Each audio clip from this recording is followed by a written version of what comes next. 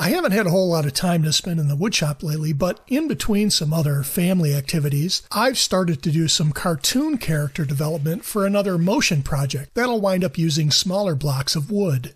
I'm now down to the point where I'll need to do quite a bit of hand carving for some more intricate cuts and some finer shaping.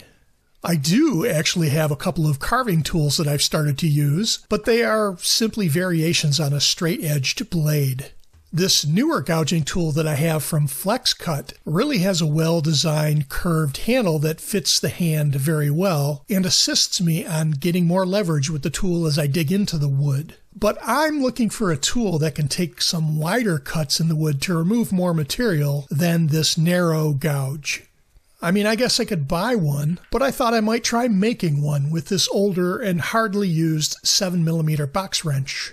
The width of the rounded cut from this modified box wrench will be just about perfect.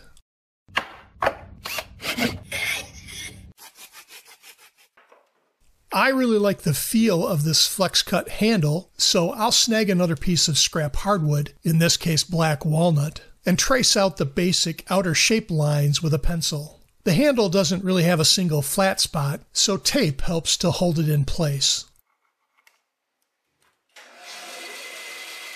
Once the outer shape is traced, I moved over to the bandsaw for the first set of cuts. I started my cuts on the side of the small block following the curved handle lines. I went slow and had to make a few small relief cuts as the bandsaw blade was too wide for really tight turns. In the end, I wound up with a nicely rounded blank that I could work with.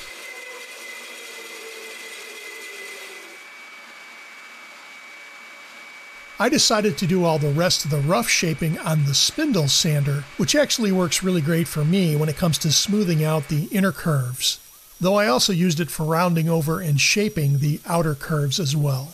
I think if you wanted to do a project like this, you could use any number of tools for the final shaping, like with a hand rasp or a curved wood file, but the 60 grit paper on the spindle sander works pretty well for me. I even did a product review on this tool a couple years ago.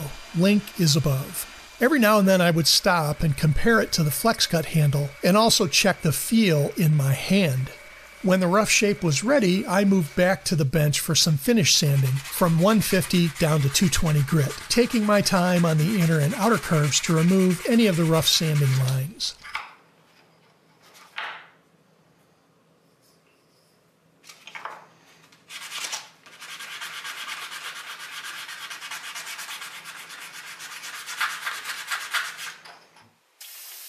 Once it was smooth and felt good in the hand, I was ready for a hard finish. I wound up choosing a spray lacquer finish on the handle because of the fast dry time. And though the original FlexCut tool handle was made from ash, I believe, I think the custom shaped walnut looks pretty awesome.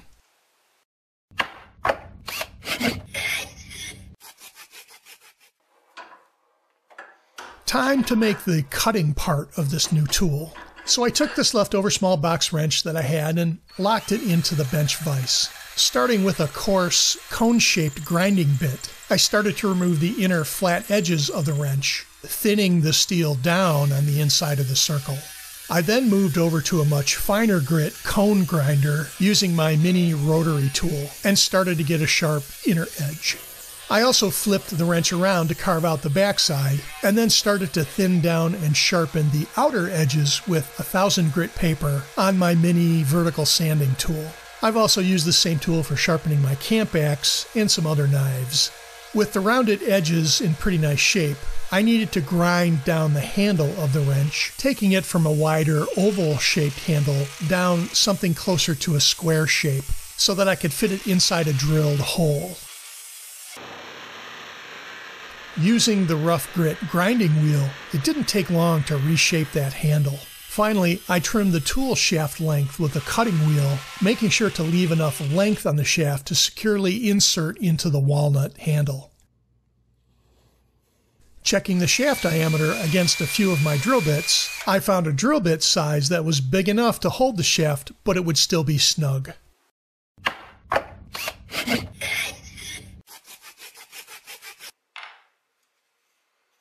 It didn't take a whole lot of epoxy to fill the small hole and then lock in the steel shaft. The rough grinding wheel that I used, along with the square profile of the shaft, should lock into the drill hole pretty nicely and prevent turning of the cutting head inside the handle.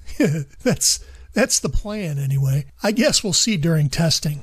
It took a little extra persuasion to get the shaft down into the handle, but no real problem after a little friendly pounding on the work table.